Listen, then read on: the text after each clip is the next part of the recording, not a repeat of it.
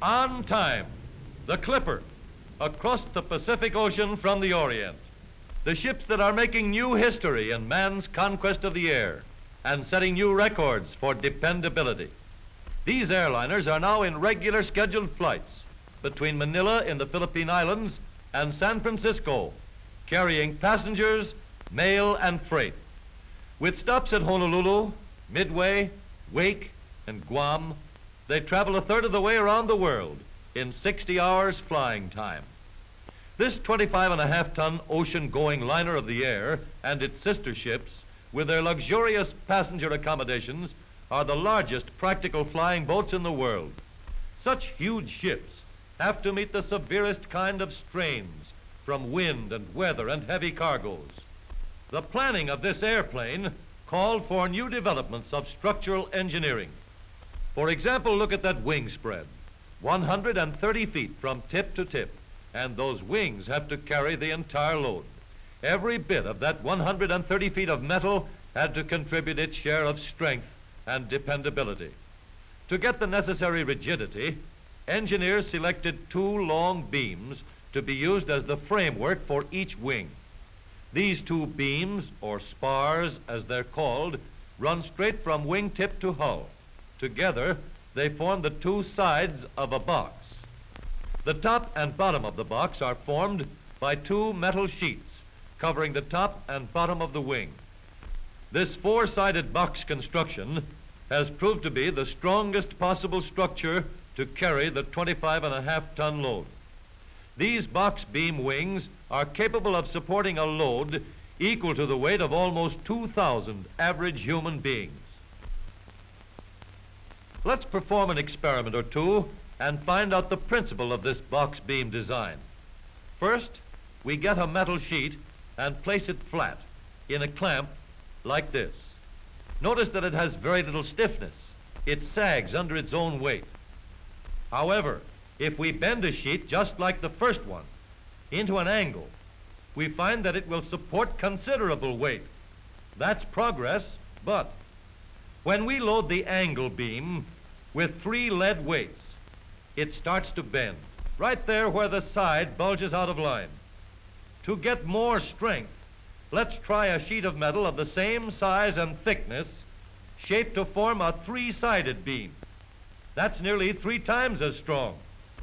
But eight lead weights put too much strain on it.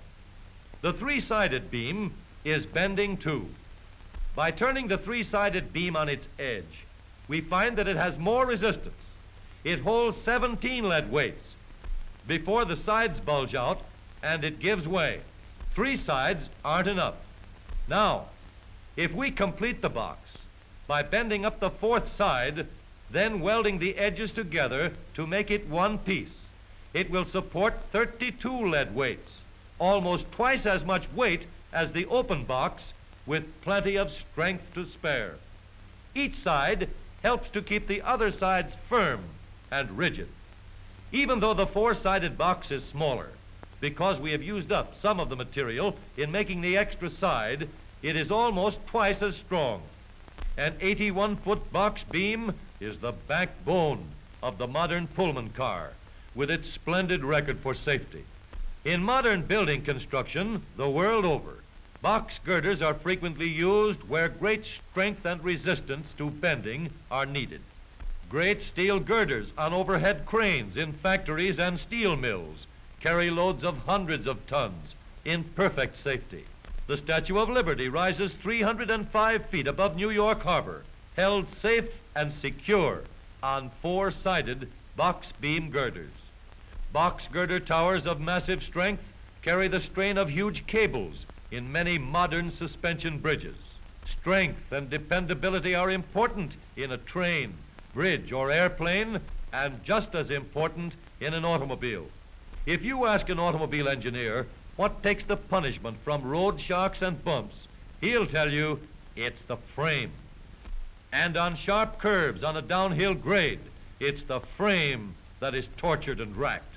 The automobile frame has developed step by step, and even recently, only a three-sided channel construction was used.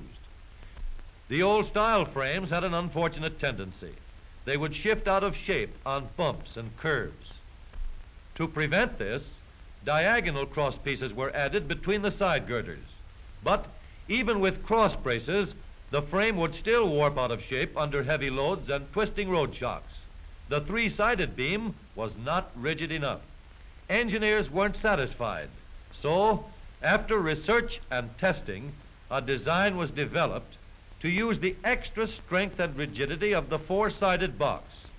Now, with four-sided box girders, the frame has been made four square. Construction has been made far more rigid by this new advance in motor car development. This modern frame has greater resistance to bending and twisting. Even the sturdy cross members are of box beam design, and the simplified bracing gives the strength to withstand the shock of bumps and twisting strains on the road. These box girder type frames will support almost unbelievable loads, strains far greater than will ever be met in ordinary service on the highway. These two box-type automobile frames are placed side by side to make a single bridge wide enough for a roadway, with planks laid crosswise to make a level floor. Now, here comes the test.